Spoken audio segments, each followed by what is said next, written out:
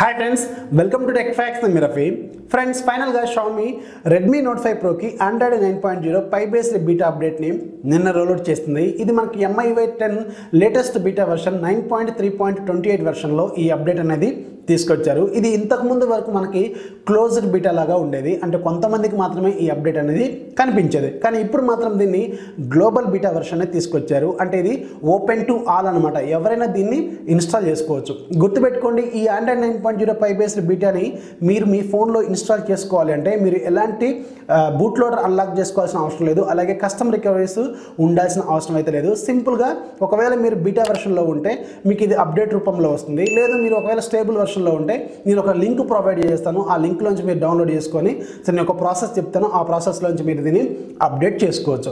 So ఇక ఎవరైతే MIUI ten latest beta వెర్షన్లో ఉన్నారో అంటే ఆండ్రాయిడ్ ఎయిట్ పాయింట్ వన్ ఒరియోలోనే బీటా వెర్షన్లో ఉన్నారో వాళ్ళు సింపుల్గా మీ ఫోన్లోకి వెళ్ళి అబౌట్ ఫోన్లోకి వెళ్ళండి సిస్టమ్ అప్డేట్లోకి వెళ్ళండి. ఇక్కడ మీరు సిస్టమ్ అప్డేట్ని చెక్ చేస్తే వెంటనే మీకు ఈ అప్డేట్ అనేది చూపిస్తుంది.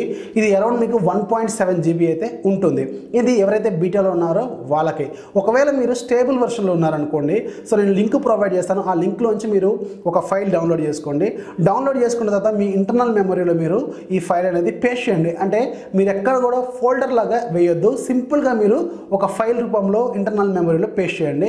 పేస్ట్ చేసిన తర్వాత మీరు సిస్టమ్ అప్డేట్లోకి వెళ్ళండి. సిస్టమ్ అప్డేట్లోకి వెళ్ళిన తర్వాత మీకు ఇక్కడ పైన త్రీ డాట్స్ ఉంటాయి. దీని మీద ట్యాప్ చేస్తే ఇక్కడ చూస్ అప్డేట్ ప్యాకేజ్ అని ఉంటుంది. సో దీన్ని సెలెక్ట్ చేసుకుని ఇంటర్నల్ మెమరీలో మీరు ఏదైతే పేస్ట్ చేశారో దాన్ని సెలెక్ట్ చేసుకుంటే వెంటనే మీకు అప్డేట్ అనేది కంప్లీట్ అయితే అవుతుంది. కానీ ఒక పాయింట్ మాత్రం మీరు గుర్తుపెట్టుకోండి. ఎవరైతే ఎంఐఓ టెన్ లేటెస్ట్ బీటా వెర్షన్లో ఉన్నారో అంటే ఆండ్రాయిడ్ ఎయిట్ పాయింట్ వన్ ఒరియోలో బీటాలో ఉన్నారో వాళ్ళు మాత్రం ఎలాంటి డేటాని బ్యాకప్ పెట్టుకోవాల్సిన అవసరం అయితే లేదు. కానీ ఎవరైతే లేటెస్ట్ స్టేబుల్ వెర్షన్లో ఉన్నారో వాళ్ళు latest Android nine point zero five based beta అప్డేట్లోకి రావాలి అనుకుంటున్నారో వాళ్ళు మాత్రం డేటాని ఖచ్చితంగా బ్యాకప్ పెట్టుకోవాలి. ఎందుకంటే బీటా నుంచి బీటాలోకి వెళ్తున్నప్పుడు మాత్రం ఎలాంటి ఎరేజ్ అయితే అవ్వదు మీ సిస్టము కానీ బీటాలోంచి స్టేబుల్లో కానీ స్టేబుల్లోంచి బీటాలోకి కానీ మారుతున్నప్పుడు ఖచ్చితంగా మీ డేటా అనేది కంప్లీట్గా ఎరేజ్ అయితే అవుతుంది. సో అందుకని మీరు ఎవరైతే స్టేబుల్ వెర్షన్లో ఉన్నారో వాళ్ళు మాత్రం డేటాని బ్యాకప్ పెట్టుకున్న తర్వాతే నేను ఏదైతే లింక్ ప్రొవైడ్ చేశానో దాంట్లోంచి మీరు డౌన్లోడ్ చేసుకొని ఈ అప్డేట్ అనేది ఇన్స్టాల్ చేసుకోండి. సో ఈ పాయింట్ మాత్రం మీరు ఖచ్చితంగా గుర్తుపెట్టుకోండి. ఇక ఈరోజు మనం ఈ latest nine point zero five based beta అప్డేట్లో వచ్చిన కొత్తగా వచ్చిన ఏమేమి చేంజెస్ వచ్చాయనేది ఒకసారి మనం బ్రీఫ్గా చూద్దాం. సో దానికంటే ముందు ఒకసారి మనం అబౌట్ ఫోన్ ఓపెన్ చేద్దాం. అబౌట్ ఫోన్ ఓపెన్ చేస్తే ఇక్కడ చూడండి మనకి ఆండ్రాయిడ్ వెర్షన్ నైన్ అని చూపిస్తుంది. అలాగే మనకి MIUI version MIUI ten global nine point three point twenty eight beta version అని చూపిస్తుంది. అంటే మనకి వీళ్ళు ఆండ్రాయిడ్ నైన్ పై అప్డేట్ అయితే తీసుకొచ్చారు. అలాగే మనకి ఆండ్రాయిడ్ సెక్యూరిటీ ప్యాచ్ లెవెల్ మనకి ఐదు నాలుగు రెండు వేల పంతొమ్మిది అని ఉంది. అంటే ఏప్రిల్ ఫిఫ్త్కి ఈ ఆండ్రాయిడ్ సెక్యూరిటీ ప్యాచ్ అనేది వీళ్ళు తీసుకొచ్చారు. కానీ స్టిల్ మనం ఇంకా మార్చ్లోనే ఉన్నాం. ఇది ఎలా పాసిబుల్ అయిందంటే గూగుల్ సెక్యూరిటీ ప్యాచ్ లెవెల్స్ అనేవి ముందే రిలీజ్ చేస్తుంది. సో వీళ్ళు ఆ సెక్యూరిటీ ప్యాచ్ లెవెల్ని బేస్ చేసుకొని ఈ ఎంఐఏ వెర్షన్ని వీళ్ళు అప్డేట్ అయితే చేశారు. అంతేగాని పెద్దగా అయితే దీంట్లో మిస్టేక్ ఏమీ లేదనమాట సో మనం ఫైనల్గా అయితే ఆండ్రాయిడ్ నైన్ బీటా అప్డేట్ అనేది దీంట్లోకి వచ్చింది. ఇక దీంట్లో వచ్చిన మేజర్ చేంజెస్ ఏంటనేది ఒకసారి మనం చూద్దాం.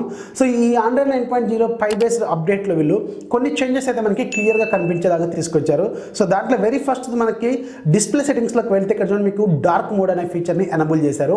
ఇది మనకి సిస్టమ్ వైడ్ డార్క్ అనమాట అంటే దీన్ని టర్న్ ఆన్ చేసుకుంటే మొత్తం మీ ఎంటైర్ సిస్టమ్ డార్క్లోకి వెళ్ళిపోతుంది. కొంచెం మీకు బ్యాటరీ సేవ్ అవుతుంది. అలాగే చూడటానికి కూడా కొంచెం నీట్గా అయితే ఉంటుంది. సో దీన్ని ఒకసారి టర్న్ ఆన్ చేశాను.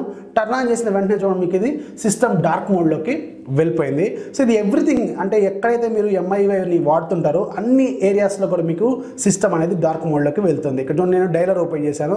డైలర్ ఓపెన్ చేస్తే డైలర్లో మనకి డార్క్ మోడ్ ఉంది. అలాగే మనకి మెసేజెస్ ఓపెన్ చేశాను. మెసేజెస్లో కూడా డార్క్ మోడ్ ఉంది. అలాగే సెట్టింగ్స్. సో ఎవ్రీథింగ్ మనకి డార్క్ మోడ్లోనే ఉంటుంది. కాకపోతే ఏవైతే కొన్ని డిఫాల్ట్ అప్లికేషన్స్ ఉంటాయో లైక్ మనకి క్యాలెండరు అలాగే మనకి సిస్టమ్ ఫైల్ మేనేజరు ఇలాంటి వాటిల్లో మాత్రం వీళ్ళు ఈ డార్క్ మోడ్ని అయితే ఎనబుల్ చేయలేదు. మేబీ ఇది ఫస్ట్ బిల్డ్ కాబట్టి త్వరలోనే మనకి లేటెస్ట్ బిల్డ్స్లో మాత్రం ఈ విట్ ఫీచర్స్లో కూడా మనకి డార్క్ మోడ్ అనేది మనం చూడొచ్చు అనమాట సో దీనివల్ల మనకి యూజ్ ఏంటంటే మనకి కొంచెం బ్యాటరీ సేవ్ అవుతుంది. అలాగే మనకి కొంచెం చూడటానికి కూడా నీట్గా ఉంటుంది. కళ్ళ మీద ఎక్కువగా స్ట్రైన్ అయితే పడదనమాట సో కళ్ళకి మనకి ఎలాంటి ఇబ్బంది లేకుండా ఈ అప్డేట్లో మనం దీన్ని యూజ్ చేసుకోవచ్చు. ఇక నెక్స్ట్ ఏంటంటే ఒకసారి మనం సెట్టింగ్స్లోకి వెళ్ళిన తర్వాత ఇక్కడ మనకి నోటిఫికేషన్స్ అండ్ స్టేటస్ బార్లోకి వెళ్తే ఇక్కడ కిందికి వెళ్ళండి. ఇక్కడ నోటిఫికేషన్ స్టైల్ అని ఉంది.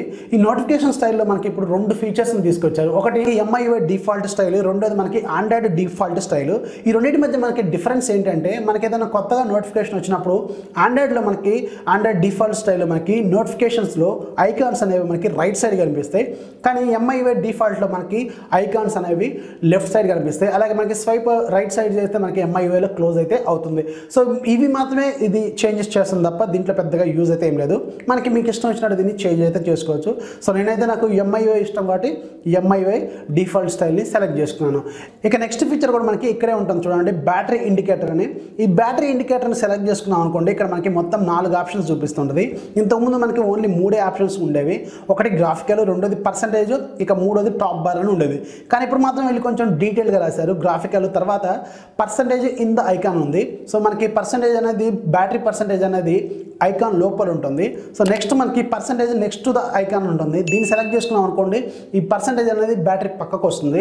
అలాగే మనకి టాప్ బార్ అంటే తెలుసుగా పైన ఒక గ్రీన్ కలర్ లైన్ అనేది కనిపిస్తూ ఉంటుంది అనమాట సో దీంట్లో మనకి కొంచెం చూడటానికి బాగుండేది పర్సంటేజ్ ఇన్ ద ఐకానే కొంచెం బెటర్గా ఉంటుంది. ఇక నెక్స్ట్ ఫీచర్ ఏంటంటే వీళ్ళు మనకి గేమ్ బూస్టర్ని యాడ్ చేశారు. రీసెంట్గా మనకి షామీ పోకోఫోన్ ఎఫ్ వన్లో కూడా ఇలాంటి ఫీచర్ని వీళ్ళు తీసుకొచ్చారు కదా. ఇక అదే ఫీచర్ని మనకి రెడ్మీ నోట్ ఫైవ్ ప్రోలో కూడా తీసుకొచ్చారు. సో దానికోసం మీరు సిస్టమ్ సెక్యూరిటీ యాప్లోకి వెళ్ళండి.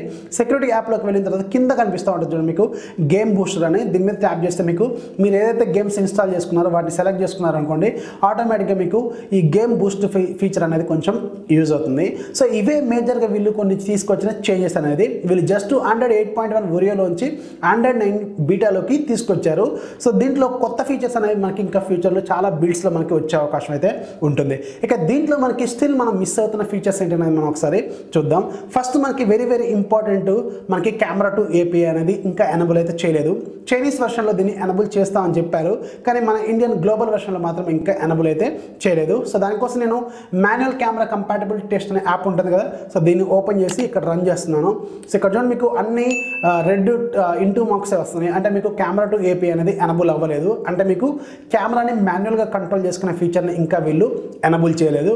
ఫ్యూచర్ బిల్డ్స్లో మనం ఎక్స్పెక్ట్ అయితే చేయొచ్చు. ఇక మేజర్గా షామీ రెడ్మీ నోట్ ఫైవ్ ప్రోలో చాలామంది ఇప్పటివరకు వెయిట్ చేస్తున్న ఫీచర్స్ ఏంటంటే మనకి ఏఐ మోడ్ ఏఐ మోడ్ అయితే ఇంతవరకు దీంట్లో యాడ్ చేయలేదు. సో ఇది ఒక డ్రాబ్యాక్ అని చెప్పాలి. మేబీ మనకి ఫ్యూచర్ అప్డేట్స్లో తీసుకొచ్చే అవకాశం అయితే ఉంటుంది. ఇక ఇంకొక ఫీచర్ ఏంటంటే మనకి వీడియో రికార్డింగ్లో ఇంతవరకు మనకి ఫోర్ కే క్యాపబిలిటీస్ని అయితే వీళ్ళు యాడ్ చేయలేదు. స్టిల్ మనకి ఇంకా థౌజండ్ ఎయిటీ దగ్గరే ఉంది.